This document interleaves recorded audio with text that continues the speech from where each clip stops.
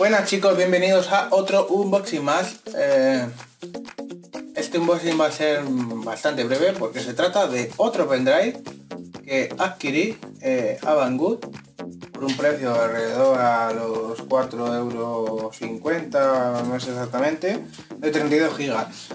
¿Qué se puede esperar de la calidad de este producto? Porque no sea muy bueno, pero bueno, por algún apaño que otro, que si un DVD para poner una televisión para que grabe y tal, pues si dura un tiempo, dure, que no, pues mira, por 4 euros, 32 gigas. Bueno, está por aquí, así que voy a abrirlo con cuidado. Pero vamos, no, creo que lo dañe.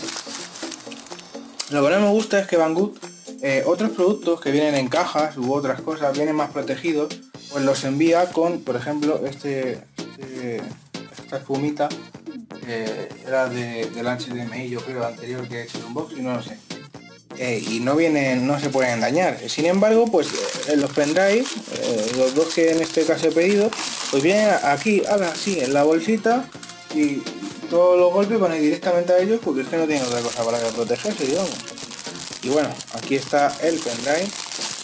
Veremos cómo funciona. Aquí podéis ver que es de 32 gigas. Muy, muy, muy cuco con este ganchito aquí. Aunque exactamente así, vale.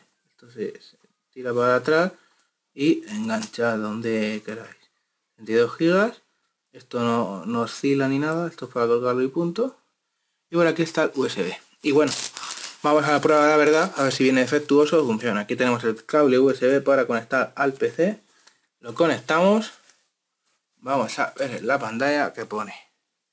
Aunque bueno creo que tengo desconectado ese USB vamos a enchufarlo ahora. Un momento y ahora vamos a ver qué sucede si reconoce un nuevo dispositivo. pues, a mí, ahí está. Ahí ha, reconocido el dispositivo y ya lo está abriendo. Aquí está. Si nos vamos a equipo, ahí podéis ver que tiene 28 gigas, nunca es la, la, capacidad total, digamos, pero ahí está. A ver si salen las propiedades no quieren salir ahora. Aquí veis 28 gigas. Vamos a hacer el formato. Siempre eh, os lo recomiendo. Cuando compráis un pendrive yo no sé dónde lo vi pero era súper recomendable porque puede venir en otro formato y que no haya utilizado la capacidad total de pendrive. Entonces es muy recomendable eh, cuando tú vayas a tu ordenador en este caso con Windows lo, lo escuché.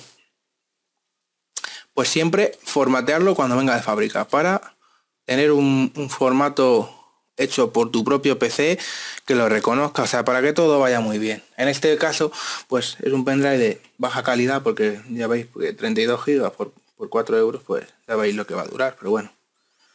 Y bueno, eh, también os recomiendo que para evitar sustos, por si lleváis informaciones, que siempre, o bien desde aquí, eh, expulsar, o bien desde aquí cuando aparece el USB, expulsar el dispositivo.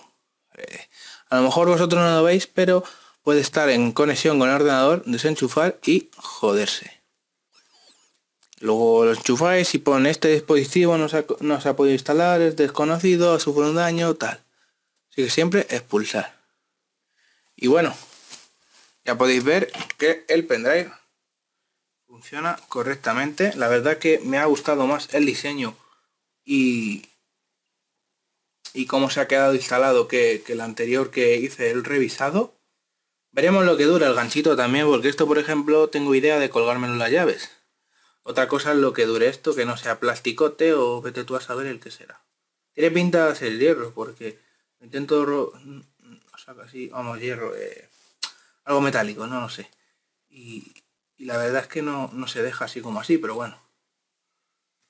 Aquí tenéis, ya sabéis, una alternativa para tener un pendrive de batalla, baratucho, para cualquier cosa. 32 eh, gigas, unos 4 euros.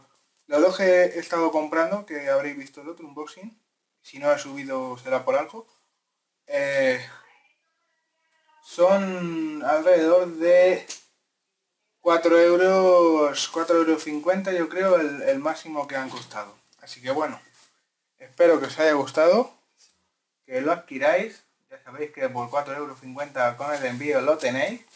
Así que bueno, nos vemos en un próximo unboxing que hay muchos pedidos por llegar.